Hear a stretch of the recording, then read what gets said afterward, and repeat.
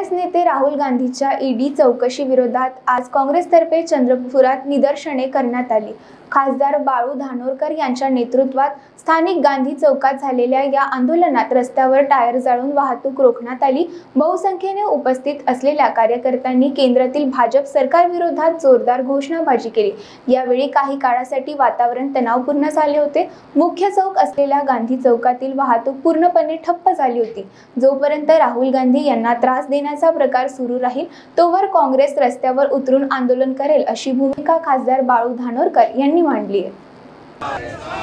राहुल गांधी आगे बढ़ो। हम तुम्हारे साथ हैं राहुल गांधी आगे बढ़ो। हम तुम्हारे साथ हैं अरे मोदी तेरी तानाशाही नहीं चलेगी नहीं चलेगी अरे मोदी तेरी तानाशाही नहीं चलेगी नहीं चलेगी संपूर्ण भारत देशाला नव्हे तर जगाला माहिती आहे की या देशाचे प्रामुख्याने काँग्रेसचे राष्ट्रीय अध्यक्ष सोनियाजी गांधी आणि माजी राष्ट्रीय अध्यक्ष आणि खासदार राहुलजी गांधी यांना ईडीने या केंद्र सरकारने भाजप सरकारने समन्स पाठवलं आणि त्यांना चौकशीसाठी बोलावलं.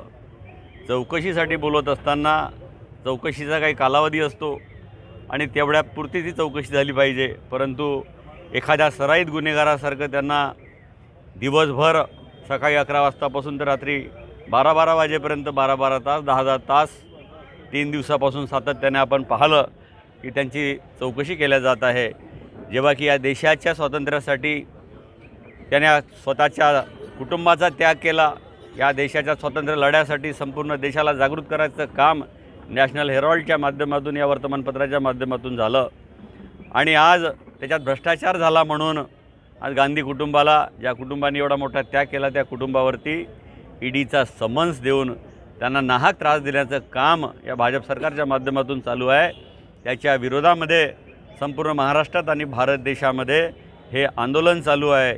जोपर्यंत या पद्धतीचा त्रास गांधी घराण्याला देत राहील तोपर्यंत या भारत देशातील संपूर्ण जनता काँग्रेसच्या पाठीच्या पाठीमागे आहे आणि ती जनता रोडवरती उतरेल. आणि भविष्यात जर त्यांना चुकून जर यांनी अटक केली या याच्यात गुन्हा नोंद केला तर या देशामध्ये सगळीकडे जेलभरो आंदोलनसुद्धा आम्ही करू.